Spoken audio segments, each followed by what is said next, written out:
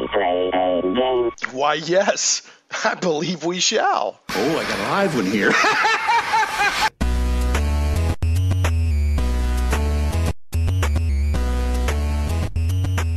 I like the opening for this show.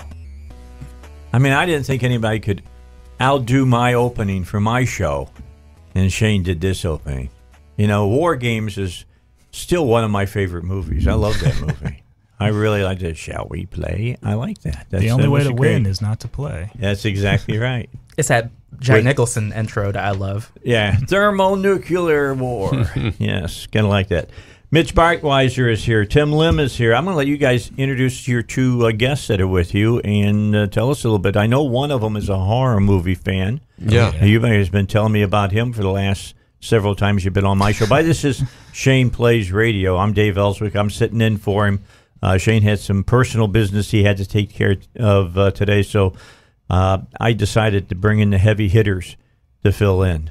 And it's good to have these two guys here in the studio with us. They got some you know exciting news to tell you about. But why don't I start off with you, Tim? Who's this guy to your left? So, for listeners who are familiar with either the Dave Elswick show or for or with Shane Plays, this is Mark Pellegrini. He was my co-writer on Thump the first hundred days. So I came up with the character and the idea, and he's the guy who wrote the book. And then Cool. he, he also is the co-writer of My Hero Magademia and Black Ops. And the connection that he has between Mitch and I is he is Mitch's helper and co-writer, scripter on Red Rooster. Okay, so Yeah. now my big question for him is: Are you going to capture your inner Monty Python and have a killer rabbit You know, somewhere we- along the have line in a horror motif? So much.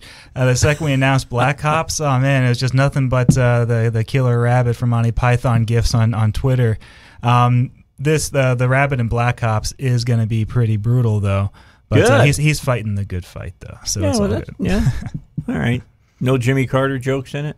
Uh, no Jimmy Carter jokes. It's a Okay. little bit before my time, but you know, No, but he does. Watch it. Ageism here. No. no, no. He does take on Kim Jong Un though for people interested. Oh, I love that. Yeah. that's good. Did you see Ramirez's political cartoon the day of the summit? no, I didn't. And it had the picture of Un and Trump looking at each other. First thoughts, and they both were thinking, "What a strange haircut." I thought that was great. Yeah, well, there's Yeah. some common ground. I like uh, I like Ramirez. He's a great uh, political. Did you see the uh, the the clip uh, of Trump where he's engaged with the media? They're at the at the table, and I can't remember where during their their conference or whatever, and it was right before they were sitting down, and he asked the media to uh, you know take some photos and make sure it's a good angle, make it make sure we look real nice and slim. and then they pan over to Kim Jong Un, and he's like looking around, like he doesn't know what they're saying. And, and it's like a somebody said it was like a moment out of the office, and it really was. It was awkward and hilarious. Uh, you, yeah, you can dig that clip up. See, that's getting that's that's Trump getting Yeah. him off balance. He's funny. He's just funny. Just Yeah. taking taking Uh, care of business. Humor can win the day. I mean, humor is a lot better than uh, war. That's for sure. Sometimes. Sometimes war is what you have to do. Well, I guess if you can uh, avoid it with a, a few laughs, then that's That's better. That's, better. I agree. I'm all. It's just like everybody asked me, "What do you think about the Korean summit?" And I said, "Well, you know, drawing back on my my '60s roots, let's give peace a chance. Yeah, Have Well, no problem with that." I think I think a lot of what we're seeing right now is, uh, I mean, there's kind of extremism on both sides. The left's not totally wrong when they say that there's a there's some extremists on the right, and there's definitely some on their Really? on their side of things. like maybe more than some. Like the, some of these people are really unhinged. Uh, but you know what? Just making fun of them, making fun of both of them. You know, that's that's what I think. That's what kind of brings us all together. It's All like right. we got to laugh at these extreme weirdos. now you've brought somebody in with you to your right. Uh, Carter Bowden. Carter, Carter is a, a recent graduate of Episcopal, and he's going to be going to uh, film school. Carter's been my assistant for uh, our understudy for the last uh, year and a half, or Wow. two years or so, and he's been following my career for a long time. And so I have taken Carter under my wing and showing him all the ropes. So are you going out to USC for a film school out there? Uh, no, C- Carter, you want to answer that? Yeah, the mic's One right under the there. mic. Just lean over. I'm heading to Belmont University in Nashville. All right. Got a good basketball team. Yeah, They do. Yep. Hey, yeah. It looks like a they great beat my school. alma mater all the time, Morehead State. Yeah, so Carter's going to be a filmmaker. So he's This going is to be, he's very- gonna be that's very shot. cool. He's going to make all my comic book uh, comic books into films. So Carter, are you That's my are secret you plan. are you libertarian, conservative? What are you? Because I'm not going to ask you if you're liberal because I know that's probably not the case. At this point, I just try to get along with everybody. Oh, There you okay. go. I'm just good wondering because we just need people in the film industry that aren't going to be out there from the left all the time. I'm Yeah. Will not be me. I'm getting tired of that. Yeah, Yeah. am I did. so- Oh, by the way, Tim, I did go see Lolo, uh, Solo. Lolo. Yeah. Solo. Did you like it? It was SJW. Yeah. There a go. lot of it. A lot of Now- Are did- you do you strangely attracted to robots now? No. Okay. Did you? Uh, I'm, I'm not. Have you seen The Incredibles too? Oh my God! I went and saw it the opening night. How was yes. it? Was Uh, it it's SJW? fantastic. I love it. Yeah. Not really. It was, but I thought it was very well done as far as the importance of family. Okay. I mean, that's what Brad Bird's into. You know, he's into the power of family. He says that's the way you change the world is through the family. Well, we were kind of concerned because the trailers made it look like it was um, stay-at-home dad. The mom goes out and fight, and we thought to ourselves, well, if that's going to be the theme of the movie, and they're going to try and ram it down your throat, nah, I don't know. I'll wait out on it. But everyone that I've talked to said they loved it. oh, it was great. My favorite part of the dad staying at home is when he's trying to work with his son Dash and dealing with the new math.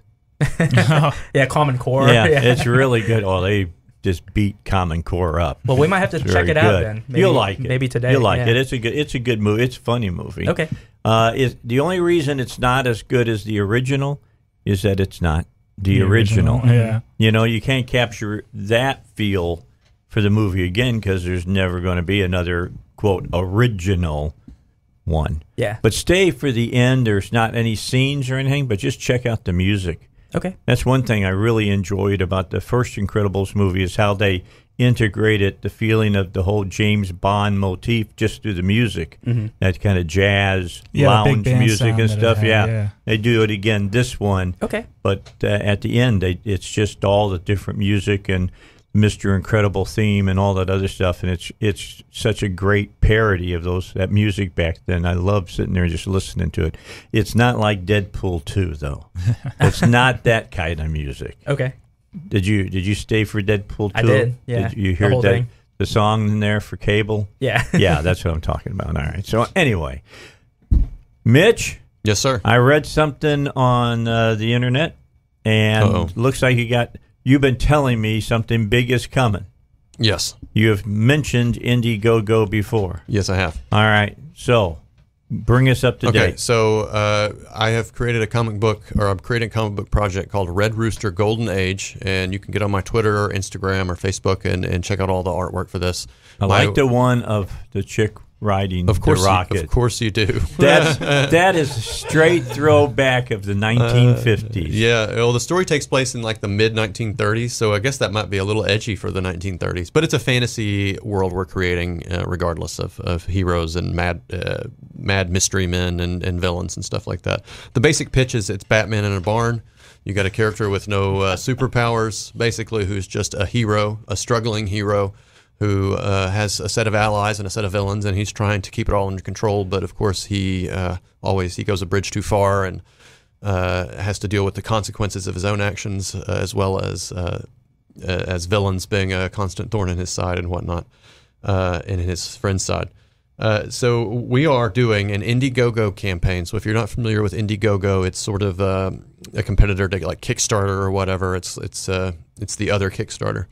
So you can go and if you want to get a, a, a sense of what it's like, we're, we're going to launch like mid to late July. Mark Pellegrini is our script guy. He's been helping me co-plot Yeah. the whole thing, and he's doing a fantastic job. He just turned in the first full finished first draft of our 48. It's gonna be 48 pages, maybe more.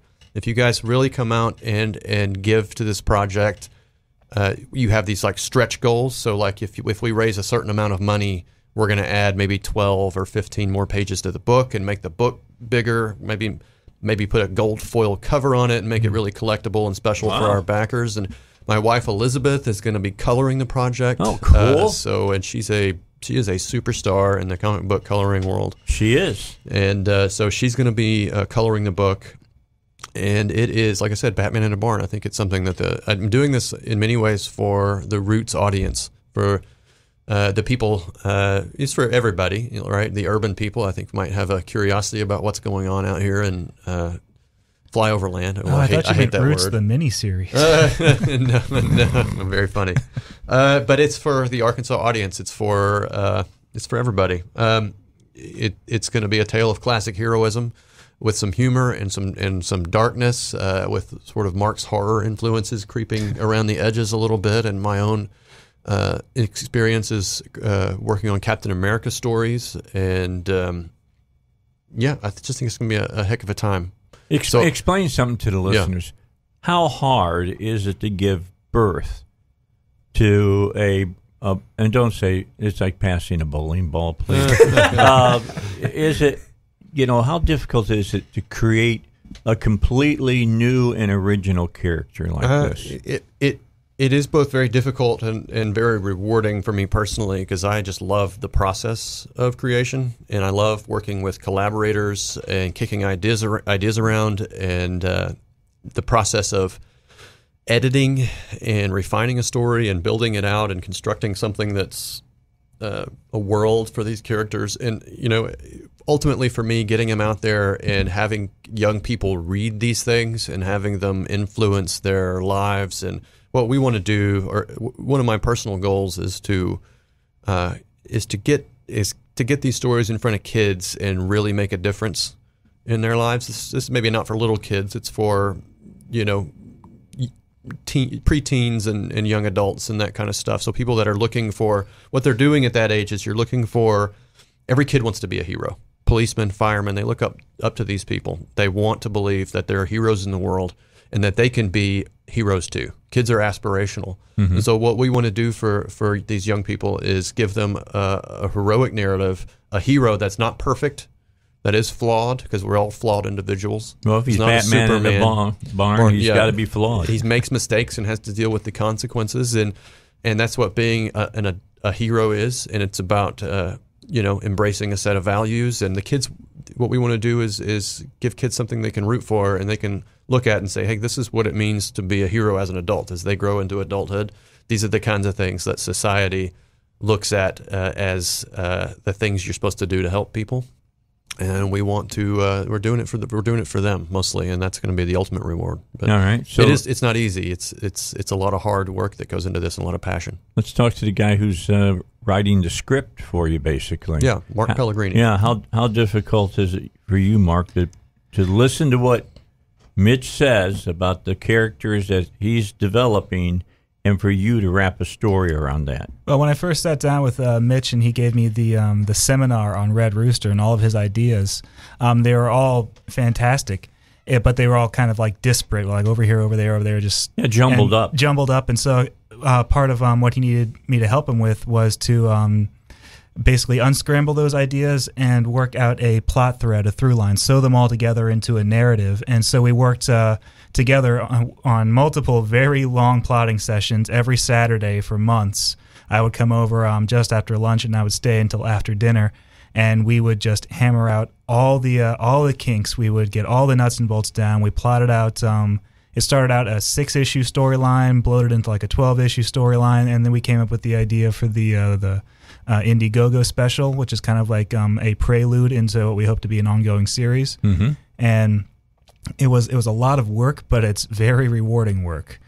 All right, now Tim, you can jump in on this because you work with Mark as well. What's it like when you guys are working together? Evidently, he works for food, shows up before lunch, leaves after dinner. But I, I mean, just ex- explain how that all worked out with you. Yeah, and um, the funny thing is this: so hit Saturdays are booked between Mitch and myself. So he meets me for lunch, and then afterwards he meets Mitch for the afternoon and for dinner. But now we've start, because we're working so closely together, we just decided to combine everything. So our Saturdays are basically just spent together, the three of us just uh, spitballing ideas back and forth. But Mark and I go way back, more than seven years. He's helped me in merchandising, so he comes up with the ideas and I draw. Cool. Um, we we tend to see eye to eye in terms of the creative component, but our our prior projects have all been almost like comedies, satires, and gags. So it's a little bit different just because the creative process is can you deliver the gag? Can you deliver the joke? And can we execute it?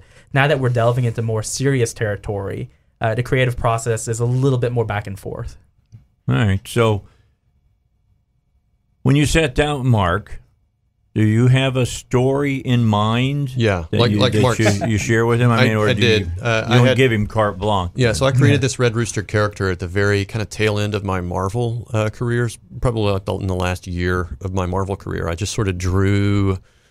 Uh, I was doing this book called Captain America Patriot, and I was on like the fourth, the last issue of it, and uh, I just drew it, you know, in between pages, and uh, and I, for fun, and it kind of became a lark, and I'm like, oh, this kind of he looks like a rooster. I'm going to call him the Red Rooster, and he lived in my sketchbook for a number of years, and uh, I kept showing him to some close friends, and they loved it uh, in, in terms of the imagery that it evoked. This sort of uh, cape and cows on the farm type thing uh, that I don't believe has ever really been done before. Right? So it's something different it does uh, look different. and it's something that uh, I think would resonate with the uh, with with our with your audience, with you know people I grew up around, and the, the kids I kind of want to inspire. It's Americana. It's Americana, and I think Americana sells, and you're not getting a whole lot of Americana. No. not through like uh, you know coastal, uh, bi-coastal elite production companies and in Hollywood movies. You're not getting a whole lot of it. You get it from time to time.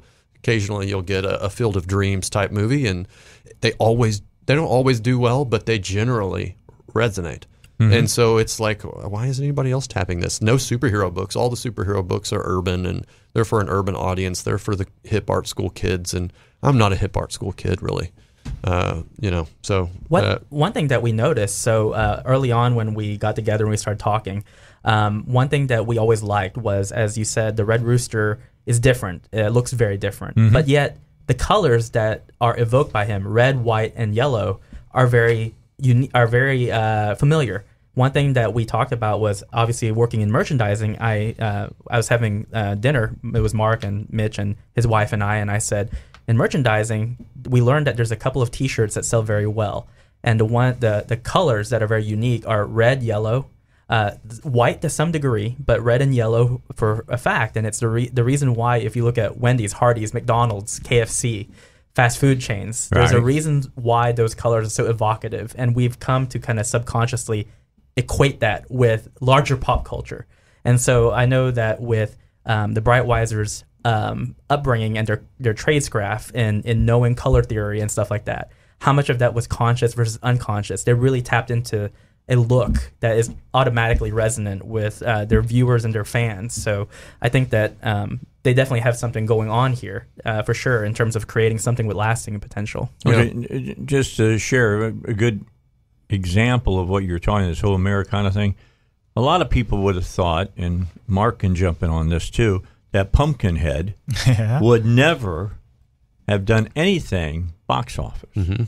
But it's got such a Americana feel to it. It did very well. Yeah, I mean, it had um. So Pumpkinhead is such a, a crazy movie. I mean, directed by Stan Winston. I think it was the first movie he ever directed, and he was a special effects guy. He did the uh, the dinosaurs on Jurassic Park, among many other things. And it had Lance Henriksen, a really small cast, a very um, small use of sets. Um, it was really just um, a very cheap movie, but not cheap looking because it was made by such great talent. And it has that that rural backwoods feel to it, very much so. It's almost alien, even though it takes place in America, and it's fantastic. It's one of the classics. Uh, stay away from the sequels, but Yeah, um, the, I uh, agree. the original is uh, is a real um, cult classic. What's, what's the other one? The one that's done, it, it's uh, uh, The Monster. It's a kind of a slasher film, but it's done in Louisiana. They've done several. Is it Candyman? No, not Candyman. They- They've done several several uh, sequels. A, a new one has just come out here recently, but this uh, this kid was mistreated by all the other kids, and they set the house on fire, and he survived, and now he goes out and he's become a slasher. It Hatchet? That's it. Yeah. Hatchet. Okay. Yeah, they've, yeah, they've been pumping those. I think they're on the third one now. I knew yeah. that if I mentioned enough stuff, that we'd come up with who. Well, yeah, Hatchet. It's done well, and again, Yeah. it's got that whole backwoods feel to it. Well, that's the the beauty of horror movies. It's kind of like a blessing and a curse form. Is that they're so cheap to make, it's almost impossible for them not to make a profit uh, because it, it costs nothing to film a horror movie, and so of course you get a whole lot of zero effort stuff out there. That especially in the age of you know digital cameras and and production costs getting very simple and open to everybody, you know, there's a glut of it. but anybody can really make a horror movie. It's how a lot of the great directors got started. Yep. Peter Jackson, Sam Raimi, guys like that. Even Steven Spielberg started with Jaws. Oh, that was like one of the first blockbuster horror movies, but still. And I mean, yeah. I, I'll, I'll tell you, I'm a huge horror fan, as you already have figured that out over the years you've listened to me on, on the air. But uh, I like those movies a lot. Pumpkinhead is one of my favorite ones. I like that it's, movie it's a lot. so good. Um, I was on um, a, a, uh, a live stream with the individual That Umbrella Guy. Um, you can find him on YouTube. Um, it's all one word, That Umbrella Guy. We had a five and a half hour horror movie live stream where we just, you know, just talked about horror movies. We could have gone on if it hadn't been two in the morning when we stopped.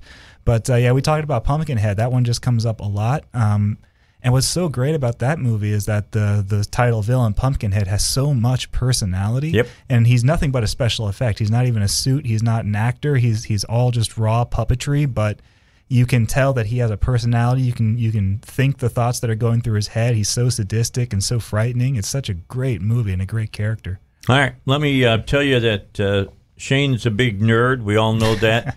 and uh, he wants to make sure that I tell everyone about Game Goblins and their special free RPG event going on for today only. Conveniently located, 1121 South Bowman, right on the corner of Bowman and Kanis in West Little Rock. That's next to uh, Subway and Señor Tequila. Game Goblins is Central Arkansas's premier retailer of Magic, The Gathering, Warhammer 40K, board games, card games, RPGs, miniatures, and hobby accessories. If that's not cool enough, today, June 16th, is their annual free RPG Day event. If you've been interested in checking out role playing games, or if you're a long time RPG lover, uh, you'll want to head over to Game Goblins today, pick up cool free swag like RPG adventure modules, dice, other accessories, and more. It's like a free comic book day, but with role playing games. They'll be hosting uh, games for a variety of RPG game systems, including D&D, Pathfinder, Shadowrun, and more throughout the day, as well as giving away prizes to participants. And here's my favorite part of it: it's all free. Uh, what are you waiting for? Get on over to Game Goblins right now for some free stuff and fun RPG games. First time customers on any visit, you mention Shane Plays and receive $10 off your purchase of $50 or more. Tell them that Shane Plays sent you.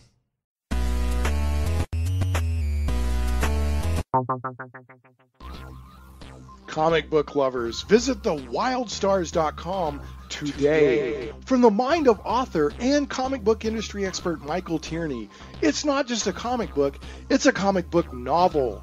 The Wild Stars is sci fi and so much more. Learn the explanations behind UFOs and space gods. This isn't the Twilight Zone. This is the region of the Milky Way galaxy known as the Wild Stars. We guarantee you've never read anything like it. The complete comic book novel took 20 years to tell, with one reviewer noting, the story of the Wild Stars stretches ambitiously across space and time, from small town murders to the destruction of planets, with every event given multiple layers of meaning. If you haven't read The Wild Stars, you're missing out. Visit thewildstars.com today. The die is cast. Plunge into worlds of fantastic adventure where dragons lie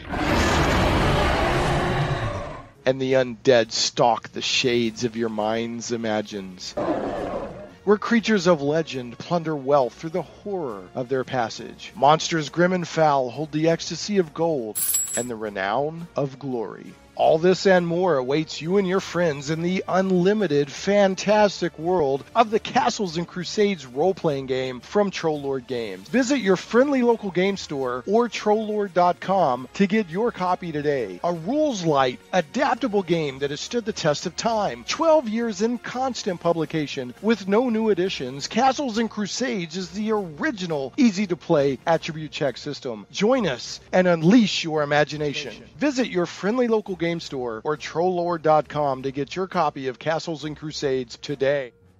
Shane Plays Radio is blessed to have sponsors, and we appreciate them very much. However, did you know that you can also support the show as an individual for as little as $1 an episode? Simply go to patreon.com slash shaneplays.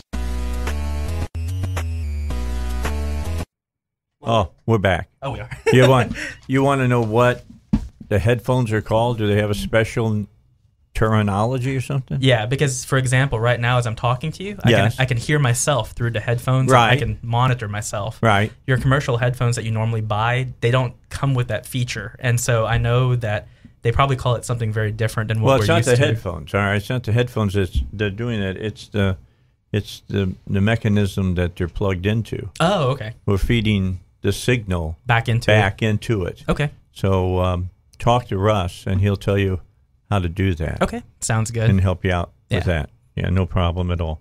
All right, we we got. Do we do news at this sh- for his show? Okay, so we forget about the world's about ready to blow up, and, it- and if it blows up while we're on the air, everybody be a surprise. Is that is that the way it works? Okay, that's Party at the pearly gates. that's cool. No problem with that at all. I don't. All right, I want to go back to this Indiegogo thing. Is it Indiegogo.com? One word. Yeah, Indiegogo.com. And so if you want to get a a, a, a feel for how it's going to be, uh, our buddy Ethan Van Sciver, we've talked about him on the Yeah. show before. He's a friend of Got to mine. get him on. Yeah, uh, uh, yeah. I'm gonna talk to him. I talk to him every now and again. So especially he's got this campaign. He's got a campaign running right now for his uh, long anticipated Cyberfrog return. He created Oh, this character this. Cyberfrog in in the 90s and it quit publishing it in 98 to work with Marvel and DC and kind of do the whole uh, mainstream comic book thing. Well, he's left DC Comics and he is going into Cyberfrog full bore. And he's got a great colorist named Kyle Ritter, uh, who's a, a, a hearing impaired gentleman uh, from Brazil. He's a phenomenal colorist. The work looks amazing. You can go Google, go to Indiegogo and search for Cyberfrog. And he, Ethan has, I believe, I didn't check this morning, but he crossed 200. He's two weeks into his uh, one month campaign. And these are kind of like in like Kickstarter, you run a month long campaign. He's over 210,000. Do you guys have a, an updated number? Two hundred ten thousand. Yeah. 210 plus thousand dollars. So people are getting totally excited about uh, independently crowdfunded uh, comic books, and the public is uh, the comic book buying public is is coming back with enthusiasm and dollars, and they're showing their support for. Uh, Cyberfrog, I hope. I think they're going to show their support for Red Rooster. I think th- my hunch is, and my bet is, and like we didn't know this going in. I decided five or six months ago that I was going to do this Red Rooster thing regardless, even if I was going to have to write it myself. And I just happened into uh, in. Elizabeth discovered Mark for me and said, "Hey, you guys would get along." And so Mark has really come in and helped save the day. I was going to do this anyway, but uh, what's happening in comic books is, is incredible. Uh, it's it's almost like uh, it's almost like kind of like the '90s all over again. Uh, creators are stepping out because of you know the economics of some situations, the the odd social climate that that comics ha- have been in for the last uh, four years or so, especially the last two years. And uh, a few creators are stepping out and saying, "Hey, we can revitalize and revolutionize uh, this business, and we can. We believe the audience that walked away from comics will come back." uh, if we give them something awesome and we go out on a limb and that what we're going to do is show show them something awesome and we're showing them something cool we're going to make it happen and it's uh, creators like ethan that are doing this and, and myself and, uh, and and tim and others. Chuck dixon is another one who's uh, he's going to be doing he has a, a campaign right now called uh, ravage uh, with a new comic book company called cautionary and so they have an indiegogo campaign. So go look for Ravage that by Chuck Dixon and um, and Cyberfrog by Ethan Van Sciver and get just get an idea of what is going on out here in comic books. There's a uh, it's the culture war war has hit us, but even beyond that, it's just like people want great comic books without propaganda in them, you know, uh, with deep metaphors and rich characters and good versus evil and that's where it's at. And Well, people you- people are showing up for us. And if you want to know what's going on, at least with the Indiegogo area of comics with these creators, you need to follow these creators on Twitter and on social media because if you use the the mainstream comic book news sites, they aren't going to re- be reporting on No, any of this. they're not covering any of they're going to stay mute, so you're not going to find out about this stuff on on those sites, and you probably know which ones I'm talking about. So look up um, Ethan Van Sciver and look up uh, Mitch Breitweiser and Chuck Dixon and all of them. I got on mine. Twitter. I got Indiegogo for All right, him yeah. right now. The Cyberfrog. Uh, it says the return of Cyber Frog awakened into a world seized by a swarm of murderous alien hornets. I love it. You love that. I do. Two hundred and twenty-two Thousand thousand dollars, two hundred twenty-two thousand Two weeks to and go. four Yeah. I- dollars for fourteen days. Contain uh, to keep Yeah. on going. Well, two more weeks. Uh, he's only been up for two weeks, and he's got two weeks to go. I think this is astounding. Go backers. Hello, friends. My name is Ethan Van Sciver. I'm a comic book creator who worked for 20 years for Marvel and DC Comics on books like Green Lantern, Flash, Superman, Batman. there. Yeah. well, He talks fast. Yes, he well, you got to talk fast. The other thing too is like um, fa- like Mark has just mentioned, f- the fake news has also hit uh, the media regarding comics. And one thing that astounded me was last week they reported on an LGBTQ RZ XYZ campaign comic, and and they were they were gloating because it raised twenty thousand. Oh, well, like that's a lot of money. And and they they completely ignored Jawbreakers, which has raised over three hundred and forty thousand. Wow. And now they're ignoring Cyberfrog, which has raised two hundred twenty thousand, uh, completely ignoring it, and they're gloating about this book that made uh, twenty uh, k. And it's only because the politics are aligned with what sure. they want. So the fake news exists in that realm too. That's pretty cool. Almost uh, 222,004 dollars. That four dollars is important too. And I, I tell you what, the, if if the audience shows up uh, for these books, yeah, and we raise a ton of money, um, the Red Rooster campaign, Chuck's campaign, and Ethan's campaign, the sky is really the limit for what we can accomplish. We can take these numbers. Uh, this is a this is the base. This is the base of what could be accomplished. This is just on Indiegogo. This isn't without any retail partnerships, without comic book stores. Uh, this is uncharted territory uh, for comic books, and we could, with with numbers like this, with a base of support like this, we can go to powerhouse retail outlets and say, "Hey, look what's happening! There's something exciting here. We can go. We can. These things could be toys and movies and cartoon shows and video games.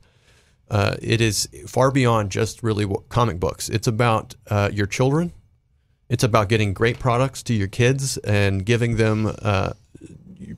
Heroic narratives that they can use to pattern uh, their young adult lives and adult lives with. Uh, this is uh, this is a, a, a in many ways could be a cultural revolution uh, with entirely new products, exciting new stories, exciting new characters, and uh, creators that are willing to step out and do heroic things themselves. All right, so word is out now, Tim. Incredibles 2 Mhm. opening weekend, one hundred eighty plus million dollars. Wow. Well, we might have to check it out then. You, got to go see it. Yeah. By the way, You I- promised me it's not SJW. No, I won't say that there's not a little in it, but it can be taken as being. But I don't think that it that Brad Bird meant it Okay. that way. That- That's my my feeling of I it. I think it's that the trailer for Incredibles 2 came out with the the same time as the trailer for Wreck It Ralph 2 and Lego Movie 2, and all three of those trailers had the same theme in them about you know girl power and and how you know men doing pratfalls and being useless and stupid, and all just kind of felt uh, a little obnoxious all at once. Well, Mr. Incredible proves that a man can take care of his kids, Yeah. and that can be a manly thing, and that's that's something that's a that's something that men need to hear because when you watch situational comics or uh, you know comedies on television, uh, the father's always just uh, a DA. You Yeah. know, I mean that's just the way it, that it plays out. Uh, Brad Bird shows that's not the case. That every member of the family is important to the family, and sticking together is how the family survives. That's pr- pretty good. That's basically the part of this movie I got, and stay for the very end again for the music, but Bird has a thank you, and I think it vilifies what I just said about the family. Okay. Yeah, you'll, I think you'll like it. By the way, and this goes to what Mitch was saying just a moment ago. Uh, two hundred and twenty-two thousand and four dollars. All right. If you take how many people have given money to this Indiegogo, it averages out maybe to about sixty dollars a person. Yeah. That you know that is huge. Yeah, it's big, and then it's a kind of a boutique thing. So what you're doing is getting the first printing. They're going to be extra special, like chromium covers. He's doing chromium covers. I'll probably add gold covers for my Okay, now what, golden age what is a book. chromium cover? Yeah, so like in the '90s, they had all these sort of foil, like stamped and embossed type covers, and they were kind of gimmicky back in the day. But I think now that we're doing kind of higher quality books on nice paper, and therefore, it's it's a boutique audience in many ways. So you'll get like with Red Rooster, we're going to offer. I want to offer like there's a in the book itself. I want to offer these sort of meta experiences. So in the book, there's like a Red Rooster Society. He's a famous he's a famous vigilante folk hero before it all falls, falls apart for him. So he's inspiring kids in the book, and they're part of like you know Cracker Jack secret society, like the Red Rooster Society. And so what I want to do is offer.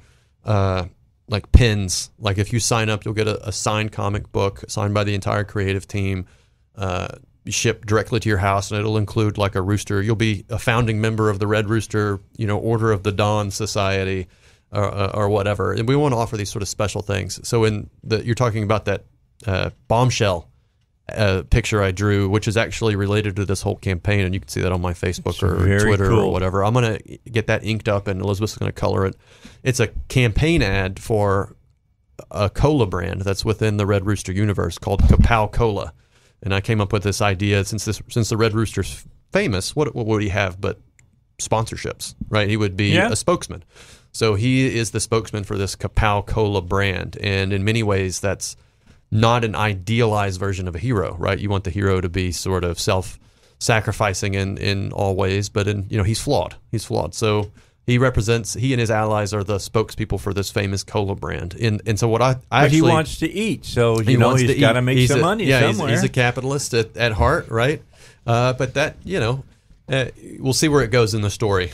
Okay. well, so we'll see where it goes. But I'm creating fake, you know, cola ads and everything with uh, with him and, and these characters in it, and it's going to be part of the story. So I'm, I'm actually maybe even I might even offer a Kapow Cola, an actual Kapow Cola, as uh, another incentive. So you can have this sort of meta experience. You can have your uh, Red Rooster Society pin, read the comic book, and enjoy a, a cold Kapow Cola while you read your book and everything. Okay, so, I'm going to tell you what. Okay, now if you're going to use the Durango boys for that, Mhm.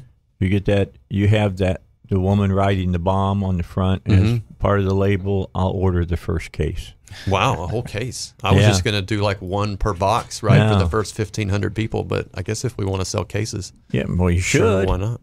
Although they mix up all their own cola, don't they? They do. Yeah, their root beers is phenomenal. You know, but I'm I'm going to order the sampler. You should. You you talked me into it, and Yeah. so I, I want to try that vanilla that they've got. It was good. Yeah, No, the vanilla good. and I'm the a big lime vanilla guy. Was good, and uh, just don't Key order the don't order the chocolate soda. no, Oh, we got want one of those. I want that. That sounds amazing. haven't that but you gotta have Oh, a yeah. that's got to be a chocolate soldier or something like that. I mean, something that's been around for a while. You know that you know when you pop it open, you what the taste is that you're going to get because you can really screw up Yeah, chocolate a- flavored stuff. Yeah, there's a chocolate soda in the 90s that I used to drink, and I drank it because it, it tasted like a Tootsie Roll. Chocola? Ah, that might have been it. Yeah, That sounds amazing. it's just good. well, it's good. It- you can still find it. Go to any any of the you know uh, gas stations that sells more stuff to you inside the store than the gas outside the Buc-ee's, store. Yeah, something like that. Yeah, the the Beaver place. the Beaver yeah. place. Yeah. yeah, you can go there and you can find chocola. It, it's it's right there, and and chocolates chocolate sh- soldiers are a little harder to find. okay. What was good about them is at the bottom you had to shake them before you opened them, and the chocolate was a, well, about half an inch thick at the bottom, and you shuck it up in there. It was really good. It was excellent. Hey, uh, you want to call Tierney for us? Let's get him on the line and uh, got a special deal going uh, on Kickstarter, and uh, you know Timothy Lim is working with Michael Tierney here in uh, North Little Rock. He's in North Little Rock, right? He's in Little Rock Oh, and Little, Little Rock. Rock. and Little. Yeah. Okay, He gets I- I- around. the last time that he was on my show uh, was when they were trying to change the road there on JFK, trying to screw it up, and he and I talked about that on the air. But uh, if you want comics, that's the place to go. Absolutely. He's he's got everything. Now you're going to do some work on a new book that he's got coming out. I already did the work. Oh, you already did it. It's the cover of his main book. So the, it- the check didn't bounce.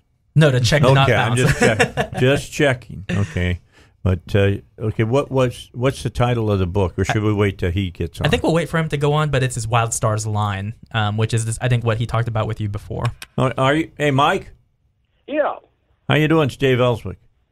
doing great. How you doing? I'm doing fantastic. Tell us about this new book. Well, the Wild Stars is something I've been working on since the early 70s, um, where basically mankind, 75,000 years ago, uh, already migrated into space once and colonized planets circling the brightest stars in the night sky. Those are the Wild Stars. And, well, you know, so every story of UFOs and space gods, that's just been cuz coming back for a visit. Uh, so, you know, the uh, original Volume 1 started out in present time. Volume two moved into the future, and the volume three that's uh, Tim uh, did a cover for me is uh, set in the uh, future as well. All right. And is it out now? Do you have copies of it ready to be sold and people to pay to buy? Well, it's on available on a Kickstarter. Uh, I think you Okay. guys were talking about uh, an Indigo site. Well, this is Kickstarter, the one who really kind of started that whole thing about crowdfunding, and uh, the main cover is you know by Tim, and uh, so uh, right now we're about. Uh, 300% or a little over 300% of what our original funding goal was. So it's doing pretty good. And um, so people, they uh, go ahead and pledge on there on Kickstarter, just uh, type in Wild Stars and you should find it easily. Uh, I'm also tossing in a whole bunch of uh, free bonuses too. Uh, oh, free bonuses. What are the free bonuses? You're using my favorite word that starts with F and is only four letters long. free works in everybody's budget, doesn't it? Yes. Yeah, back in uh, 2001 and 2002, I did a, uh seven-issue Wild Stars comic series, and uh, so um, the uh, issues one through six were all 2.95 each, and the issue seven was um, a 5.95 64 pager. Matter of fact, I found a guy on Amazon just this week who's asking 608 dollars and 28 cents for a copy. I don't know what the Wow. 28 cents is for, but he did offer free shipping, and. Um, So you can save, uh, you know, uh, almost six hundred dollars buy it directly from me, and you get uh, the whole rest of the series for free too. That sounds and, and really the All good. Stars three on top of that. All right. So, how was it working with uh, Tim Lim? Did, was he, did he follow instructions well? Oh yeah, Tim was great. I told him I said, give me a, you know kind of an action cover uh, that's kind of like the men's magazines from the fifties and sixties, you know, and uh, that's exactly what he did. And one reviewer liked it so much he called it a manly hunk of manliness. Wild Stars three will put hair on your chest. Very good. All right. Well, congratulations and good luck with it, and uh, keep us up to date on it. Okay. Great. Well, thank you for calling. It was good talking to you. All right. We'll talk to you later. All right. So, Michael Tierney, and he's got a new book out. Uh, go to Kickstarter, check it out. Yeah. Sounds like something uh, you might want to get involved in, and Or go to one of his two comic book stores and ask him more about it. ask him face to face. There you go. But as you can tell, he talks really fast, so keep your hand over your wallet. I'm just saying. Just saying. All right. So, uh, did you hear my uh, talk yesterday about John Travolta's new movie? No, I did not. Tell me. Uh-uh. Gotti. Really? They About finally- John Gotti? Yeah. Oh wow. He plays John Gotti.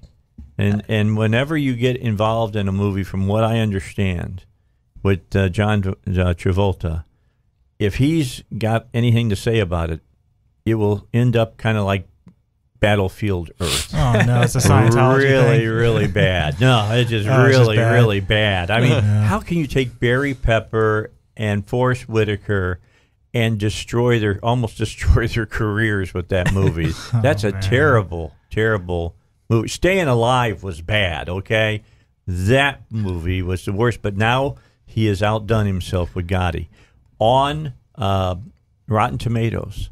You ready for? He had a zero. Holy cow. A zero. Wow. It, Jeez. uh, it was. They say it's just terrible. Maybe When are it's one of gonna do those ones that's so bad it's good kind of thing. Like, I don't know. I just know that it, you got to you got to work hard to get a zero. When are they going to do a Welcome Back Kotter movie? Get him. for that, oh, you know? that that would be fun. That'd be that he could play Kotter. You know. Turn now he could Yeah. absolutely could play Kotter. Uh, the big thing for John Travolta, if he's smart, is that he will just bide his time because next year is the 50th anniversary of Grease. Oh yeah, just. And just, Jeez, just hold re- your horses on that. next one, year, yeah. just re-release it with the famous kiss at the end because originally they filmed Sandy and Danny kissing at the end of Grease. Somehow it got cut out of the original movie. Now they found the film and they're going to restore it for the the release of the uh, Blu-ray next year. Wow. I didn't know that. So we'll see. I'm sure they'll release the movie again and put it back in theaters. It's it it, it is the greatest selling ticket wise of musicals with Saturday Night Fever right close on its heels. But people love Grease. Yeah, Grease. It's kind of hard to watch though when you know that that fan theory about the ending. You know that that makes it a turns the whole movie into a tragedy. yeah. Well, I just watch. I watch it, and there's just there's certain you know set numbers that they do that I really liked. Hmm. I just think it's funny that people don't really listen closely to the words of Grease Lightning. Have you ever listened closely to the words of Grease Lightning? No. Listen to it closely. Well, we got. Do we have a we have a break coming up? Okay, we need to take a break. Well, during the break, Tom, I'll tell you about a line in Grease Lightning that most parents have no idea that their children, if they're are paying attention, will be singing. Okay. Uh, I'll tell you that. I can't say it on the air. You can see it in the movie, but I can't say it on my radio show. Uh, that, well, it's not mine. I maybe I can because it's Shane's show, so I can say it on That's Shane, and then everybody can say, "Did you hear on Shane Plays Radio today what was said?" No, I won't do that. Let's take a break. We'll be back with more. Oh, we're gone. We're back on. We're back on. So you work at which university? well, my uh, I guess now I have to say that nothing I say here is um, reflected by the university. Yes, let me. Okay, whatever whatever he says is his opinion, his opinion alone, and not necessarily that. Is it UAMS? Uh, UALR. No, UALR. I do this for Rob uh, for for Robert uh, Steinbuch all Oh the time. yeah, he is on. and you know it's not this school. The school may not have his exact opinions, probably not, because it'll be kind of conservative Oh, and we libertarian. don't we don't know UALR's opinions on pumpkin heads. No, we don't. Yeah. We don't. It should be. We know what it should be, but w- if it would be, not that. Okay, so we got that out. Disclaimer's done because I do it for Tim as well. So what, uh, you know, what are we, uh, what are we talking about here? Oh, you're talking. Yet you come, you work over at the university. Oh yeah. So if um if you want to have me on on Friday, I can uh, see if I can get the the time to to come on. Yeah, 'Cause I- try to get time. Yeah. You know, see if they'll. I mean, it's a government job. Surely they'll just give you some. I got so off. many banked hours I could use them. I mean, look at Tim. You know, he comes over here all the time. All right, we've got about eight minutes left, and I want uh, Mitch Breitweiser to come back and talk about this Indiegogo.com uh, that they're getting ready to kick off in in July. Uh, you can get the. Uh, we're, we're putting this up on Facebook Live. It'll be on. Is it under going to be under Shane Plays Radio? Is that how they'll find it?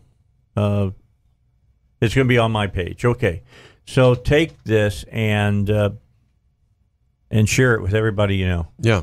Yeah. and, really. and tell them pay attention to what Mitch Breitweiser says. Yeah, uh, please do. 'Cause Yeah, at least for otherwise they'll not you can ignore me. You can ignore me in the fall, I guess. but for the summer, yeah, I would really love your attention. Uh, we want to make something really special for It's the summer your of audience. Mitch. Yeah, it is the summer of Mitch. That sounds like a horror movie. you come to camp and uh, yeah, Mark, you have to write that. Uh, uh, And make you a, Yeah. a little doll that looks kind of like you with a knife. I don't know. I'm going to wake up with like pains in my side and, and be like, "Oh my gosh, what is Dave up to?" It'll have the same ending as Sleepaway Camp. There you go. want that. okay, good stuff. Go ahead, Mitch. I'm sorry. Uh, okay, yeah, come out and, s- and support us this summer. I'm going to be, uh, you know, bugging Shane's audience some more and your audience while the campaign is running. I'm going to bring Elizabeth on, and uh, you know, she's really shy, so a, a radio appearance for her is a big deal. So we're going to come on and talk more about it and make sure time everybody's informed. she was on this show was probably almost a year ago. probably more than that. Yeah, Yeah, she's probably. coming. She's coming. She's going to come back in the near future. I'm looking forward to it. She is so smart. How Mm-hmm. did you ever end up with her? I don't know. I guess I was patient and kind, and you I married above and- yourself. Yeah, and uh, I had the. I don't know. I, I was. Kind I had just got my job with Marvel. See what she doesn't know. Like she, I, I, I just timed it right. The right? truth is coming out So now. yeah, she she she's five years younger. Well, tell me, I'll tell you how it happened real real fast. So There she's it five is. years younger than me. She was a senior at Harding, for which I was an alumni. I Uh-huh. was living in New York at the time, uh, and I had just I had spent five years after college trying to get into this comic book business, and finally did it. And I just signed an exclusive contract with Marvel. So I was riding high for like the first time in my life. I was riding high. I Did you go out and buy a new car? I did. I bought a Mustang. there we go. it always happens. I was living way. in New York, and I met her. Uh, I met her online over MySpace before it was defunct, when it was like really big. And uh, so we yourself. we talked. Uh, yeah, I am dating myself. Uh, so uh, we talked for months while I was living with a buddy of mine in Connecticut, and I bought a car. I didn't have a car, at the time, Yeah. so I bought a car for the like yeah, and and ca- ca- came back to Arkansas. We started dating. And so, yeah, I think I just hit the timing. I just timed it right. I was riding high, and uh, I, I had just achieved this uh, dream of mine, and I thought like uh, anything was possible. So I'll just go for the most beautiful, coolest girl I can find, and uh, and she was the most beautiful, coolest girl in the world. There's And no doubt about that. a- And uh, so I uh, said I better lock this down pretty fast. Uh, and I'm glad I did, and I'm glad she stuck with me through thick and thin ever since. Yeah, Well, yeah, as- here's get coolest, all right, coolest girl out there, and you know, brilliant and talented. Yeah, Well, Yeah, as you much got the whole ball of wax. yeah, she has. buddy. She comes from a great family, and and uh, they're, all her brothers are very talented, and uh, so yeah, good good child rearing. as Goes much as we love Mitch and Elizabeth, they do not hold a candle to their cat. the greatest Yes. cat in the world. That is your true blessing right there. you truly need to, to to start a independent, you know, Instagram account. Just we do. For, we Oh, There do. is for one. that? Is It's- there really? His I name is Chumley. Bear. Yeah, so it's uh, yeah, he's he's uh, you can to you can follow it. Elizabeth Well, and me on Instagram. And here's the weirdest thing. So I first met their cat about two months ago. I had actually been following their cat for more than a year. I didn't realize it was their cat. Yeah, yeah, he's famous. He He's is been a on famous Fox cat. News and Yeah. like all kinds of crazy stuff. Yeah, Yeah, when, when Tim first met Chumley, he um he immediately sent me a you know a video of Chumley, and he's like, "Mark, watch this video." And I see that's that this Thing. ugly, cute cat come walking out, and I just started laughing, like, "What the heck is that?" And um, he he said, "Oh, it's my friend's cat." I didn't know he meant Mitch. So when I went uh, first over to Mitch's place to, uh, to plot Red Rooster, um, the famous cat comes walking out, like, "Oh my gosh, it's Chumley!" Is there any, Mark was starstruck. It was hilarious. is there any bloodline, you know, relation Uh, to Morris? Morris, I, I don't Remember who- Morris the cat? No, I don't. Used to do the Nine Lives commercials all the time. Yeah, there may be. I don't know. Uh, his father was a big sh- uh, was a show cat, and uh, yeah, we got him from this lady in Jacksonville who who's no longer here anymore. But she bred these. Uh, it called they're called exotics, which is a cross between a British blue hair and a Persian cat. But they're short haired and they're real kind of thick and boxy. So they and with these bulldog like heads, and so they're just really cute and they're really mild tempered cats and. Uh, that's why we wanted a really mild-tempered, uh, sweet cat, and he is a sweet. He's a he's a he is a teddy he bear. looks like he's stoned all the time. He just I'm just saying, that's what he looks like. Yeah, he does kind of. He's kind of like got these half eyes. And, Yeah. uh, yeah. It's it's funny, and he's real chill all the time.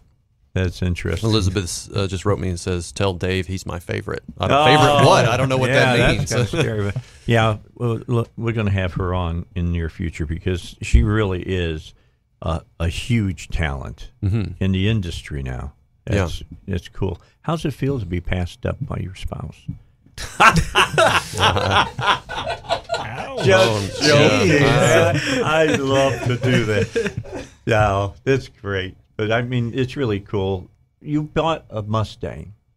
I did. Was your with your what first check? Uh, no, I bought a I bought an iMac with my first check. Okay. that was that was what I bought with my first check, and then I saved up about three more checks, and then I put a down payment on a car. cool for you. I mean, I can remember getting my first big gig in talk radio Mhm. and doing the exact same thing, Yeah, buying a car and signing the contract was. I'll never forget it. I bet you you'll never. Forget it. Oh no, I remember uh, Frank was the guy I bought the car from, and uh, yeah, he he was a typical car salesman guy. Uh, yeah, and and and uh, we named uh, Frank. We, uh, our Red Rooster guy's named Frank, and so f- he's named after the guy I bought the car from. All Frank, right. Frank Cooper. Listen up, Indiegogo.com. What do they look under Indiegogo.com for? Red Rooster. Uh, yes, you'll search Indiegogo. Uh, basically, just follow me on Twitter, right? If you- Okay. and, and that, or Facebook or something like that right now, and then I'll I'll be notifying everybody in about a month or so when the thing goes live. All right, Mitch, Tim, thanks for coming. Thank you, sir. Absolutely. Mark, we'll Thank see you. you again on Great time. Friday. Cool. We're going to talk horror movies for sure on this coming Friday. So ah, I'm bone up, brother. We're gonna get to see All right. Hereditary before then. Oh All right. man, I got. Yeah, you got to go see that. I th- it's like Rosemary's Baby. So just Is it more exciting mind. than Rosemary's Baby? Not really. Oh. All right, got to get. I got to get out of here. News is coming up. Playing with yarn is stupid, but cat owners expect it. Part of the image. How about some din din? They also expect you to be finicky. Watch me be finicky. Some nine lives, dear? Uh oh. chicken, liver, tuna.